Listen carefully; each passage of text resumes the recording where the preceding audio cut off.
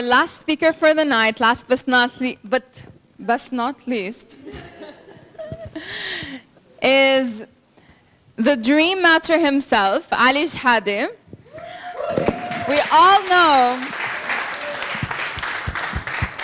we all know about the dream matcher, right?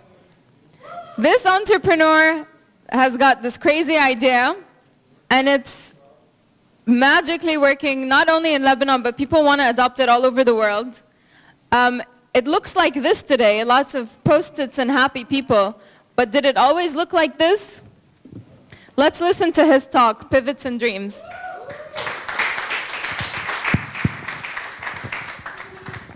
Good evening, everyone. I'm uh, Ali, founder of the Dream Matcher. Who have been to the Dream Matcher before? Wow, impressive. Who have heard of it but have not been there? Okay, cool. I hope you can join us sometime. So I hope that my talk today will inspire you to turn your fuck-ups into building blocks towards your success. Okay? Um, so th- this morning I saw this video on uh, Facebook, and I'll tell you a little bit why it's really significant. Look at this kid grabbing like alive lobsters and doing what? Trying to eat it. And he's like, what? His dad apparently told him, don't do it. And he was like, what? Why? Okay? Us as kids, we really don't have the concept of messing up. We don't have the concept of being judged. This kid was not worried about being judged or someone telling him, why the hell are you doing this? You shouldn't be doing this. It was just like being himself. He wants to eat the, the lobster. But um, as we grow, what happens, we go to school, uh, and suddenly we start getting fed that, hey, you should not fail. Uh, anything wrong you do as a kid, um, you're punished for it. You're judged. Um, and when kids fail in school, for example, what do we do? We focus on their failures. We hire tutors because they're failing at this subject. We punish them because they're failing at this subject. This is when us start learning, hey, you should not make mistakes because it's wrong, because it's shameful. Um, but what if we focused on the positives instead of focusing on the failure? Or even better, what if we turned those failures into opportunity to understand where the successes can be hidden? That's where I thought and I got to accept the fact that, hey, I want to accept failure. I want failure to become part of um, what builds me as an entrepreneur. And I labeled myself as an experimental entrepreneur. I love doing experiments. As, I, as you know, scientists, when they do experiments, they always expect failure, most, more likely than even a success. Uh, a success.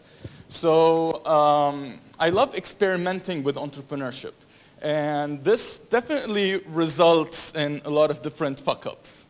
So if we look at here, this is like a, a very brief sort of a timeline of a lot of different fuck-ups in, in my life. Um, uh, and the slide is a little bit fucked up, but I'll... Uh, um, Infijarat.com is a website I made two years ago. It was all over the news. It, it was in stealth mode.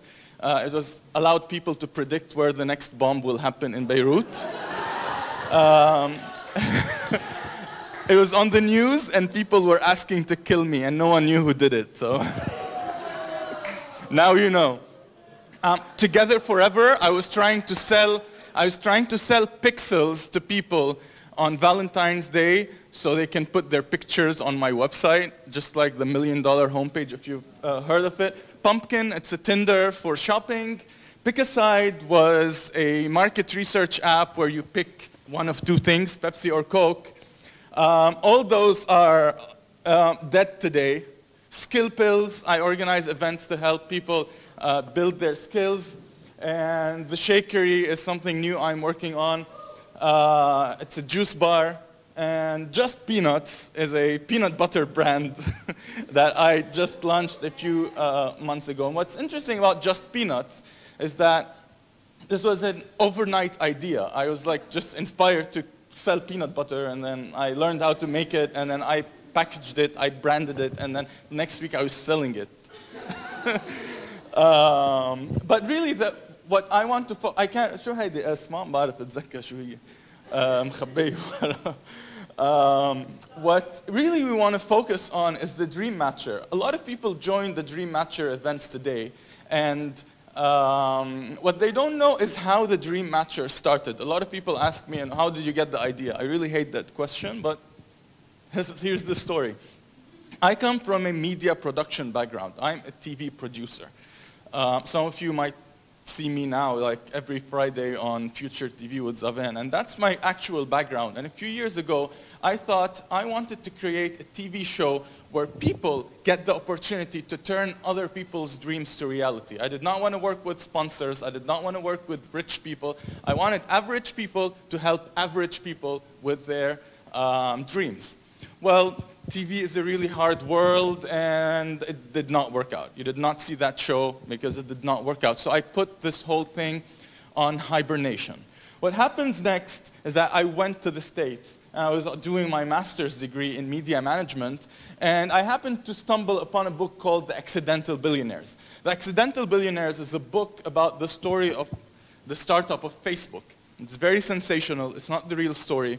But it did inspire me to make something big. I was like, I want to be an accidental billionaire too. And I was thinking, what can I do? What, what can make me billions of dollars? And then the Dream Matcher, it was not yet called the Dream Matcher, struck me again. I thought, hey, this could be turned into a social network because social networks were a trend and still are. So I thought I wanted to turn the Dream Matcher idea into a website. And that was the big thing. 2010, people built social networks. So this is the Dream Matcher homepage. What you're seeing here was the result of two whole years of fuck-ups. $20,000 of cash that I did not, I barely even had. Um, it was my first startup, and every single mistake you can imagine was done in that startup. Um, and all those mistakes were definitely big fuck-ups of mine, but they helped me today when I talk to um, early stage entrepreneurs. I really can see myself. And just a few tips about what went wrong. First off, I was not really aware of what is called the lean startup methodology, how to build things in a very lean and efficient manner whereby you're not just throwing a lot of money into building something that you don't know if it's going to work or not. Um, I had multiple teams work on this. I never had a co-founder, so I'd always grab people, hey, I want your help, I want your help. And this does not really work. You want people to be dedicated. But we did launch the website, and the website went online. and did not go anywhere, though. Now, what happened somewhere before or during launching the website is that I was in a conversation with someone, and I was inspired to turn this whole concept into a real-life thing. It was like, hey, why don't we try it in real life? Why don't we get people in real life and try to see how can we match their dreams? What if we have 50 people who do not know each other? What if we know their dreams? And what if people in the same room can make those dreams come true. So I wanted to try, and I booked Alt City, this right here, and I booked a date. I told them I want a date two weeks from now to do an event, and guess what? I did not know what the hell am I going to do during the event. I was like, I'm, I just want to match people. How are we going to do it? I really did not know. The day came, and it was very experimental, and uh, we definitely collected a lot of feedback. So that's really important when you're, when, when you're building your startup, collect feedback. And today, three years later, the Dream Matcher has held 50 events in Lebanon and around the world. Almost more than 1,500 people have attended our events. What happened to our website? Nothing just dead. It's not there anymore. So I stopped all online things because guess what? I saw that the offline version is getting successful and I saw people coming and paying money to be part of this event. So I thought that, hey, there it is. And my biggest learning from all this thing, especially as, a, uh, as an early stage entrepreneur, is when you're looking at your goal that's up there, don't try just to jump to it. You have to take the steps to reach there without investing a lot and expecting a lot without um, investing much. so these are some pictures from the uh, event. Let's go to the next slide. Uh, what kept me going through this whole thing is that I think that I work based on a purpose and not based on a, uh, a, product. I did not build the Dream Matcher because I thought the Dream Matcher works. I built the Dream Matcher because my passion and my purpose in life to help other people achieve their goals, achieve their dreams, and be what they want to be. So that purpose was guiding me. So it did not really matter whether the Dream Matcher, the website worked, or the TV show worked, because there was a lot of different ways that could help me achieve the same goal. So when you really have a purpose in what you're doing, it will not matter if small failure of an event or a product or an experiment would not matter because in the bigger scheme of things, you can keep trying different things. And that's what happened with uh, the Dream Matcher. So that's my story. And I hope uh, to see you guys sometime soon at uh, the Dream Matcher experience here at Alt City. Thank you. Thank you. Great. Any questions? Any questions? Yes. Ah, there. I see. Uh, okay. Sorry. You usually run your event, so I'm running this one. Yeah, yeah. I'm, I'm, uh, Okay, so my question is, you know, um, how do you keep track of all your projects? How do you give each of them the commitment that they that they need to actually succeed? Yani? How do you manage your time? I'm sure each of these by themselves could be a full-time thing if you put, you know, your all. well, all definitely those things are did not all happen at the same time. So at any given time, I'm probably working on two or tops three things. Um, I sort of try to manage my time. I know that uh, a lot of people tell you you need to focus on one thing, and that, that's right. That's not wrong. But uh, I sort of find enjoyment in doing multiple things, and I like to live what I call a multi-track life. I don't like living a single track life when I'm just doing the same thing or walking, uh, going towards a single goal. Um, and uh, yes, it does come with disadvantages of not ha- having the, the time or even the money or the resources to focus on one thing. Um, but I enjoy it. Uh, any advice you would give to someone who wants to do the same thing? To do multiple things at the same Yeah. time? Like, Yeah, uh, just be realistic about what each one of those things requires. Yani, I would not run two major things at the same time.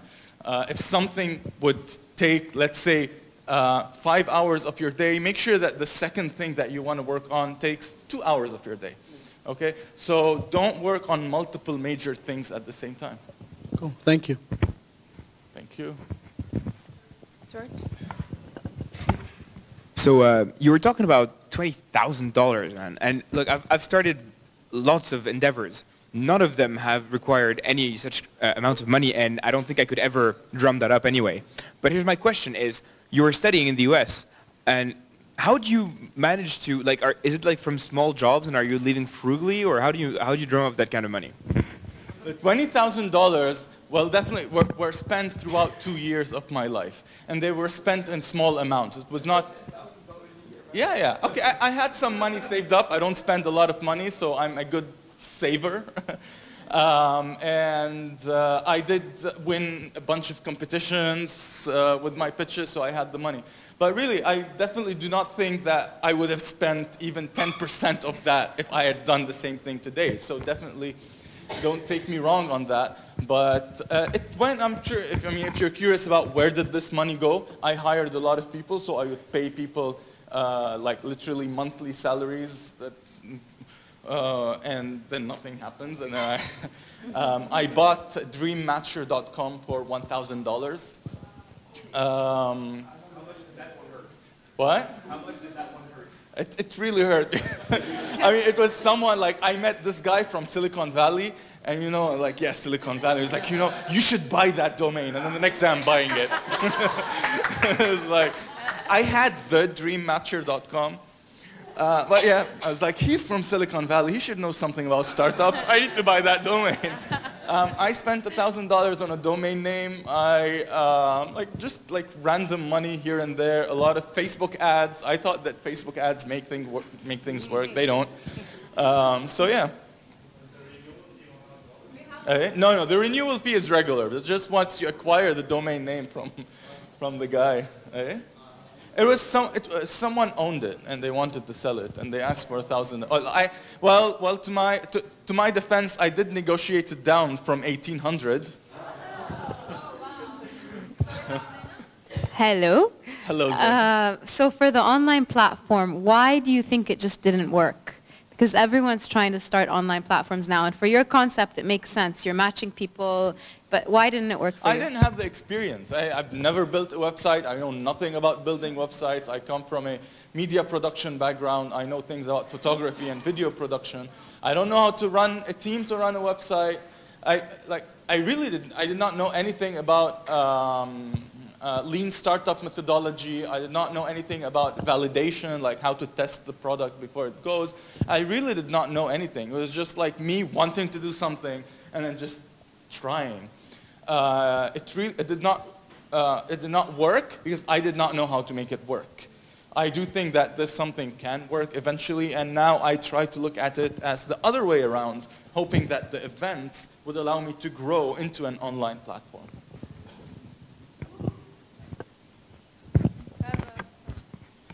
Hey, so I think it's interesting that with the Dream Matcher website, you had investment and you had a product and you had a website go on and you had no like feedback guiding it and it, and it completely tanked. And then you had your Dream Matcher event and you said like you didn't really know what you were doing and you just kind of winged it, but you got feedback and now it's the wonderful international success it is now. So I mean, at least when I hear that, I'm thinking that can be generalized to some other different industries, to other entrepreneurs about the value of, of customer validation and of, uh, of understanding the needs of your market. Yeah, definitely. I mean, the learning experience from this is be attentive to what people are saying. It might not be direct feedback. Um, and be open to trying different things. Um, I was not closed-minded. I was like, no, no, I want this to be online. Otherwise, I don't want to do it. Because again, as I said, my goal was not a website. My goal was to build something that would help people achieve their dreams. And I saw that people liked the events. I, until today, at least 60 or 70 people come to each of our events. And I saw that's an opportunity, and the website isn't working for now, so let's just put that into hibernation and work on what actually is working. Um, oh. Hi. So I have three questions. Wow, three yeah. questions. um, uno, um, uh, would you, like, is the Dream Matcher website off? Halas, it's out of the way, or the would Dream you go Matcher, back to it?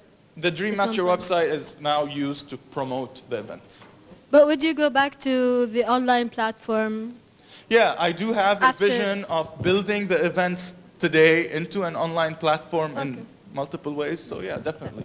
Uh, uh, okay, second question. Um, so you have a day job, kind of, like, w- why didn't you, like, you're, you you have a successful thing going on. Why didn't you quit to focus more on your thing? Or would you, or Okay, wouldn't you? I don't really have a day job. I, I've never had a day job, day job, uh, at least not for an extended period of time. What I try to do is find jobs that pay a lot and consume very little time.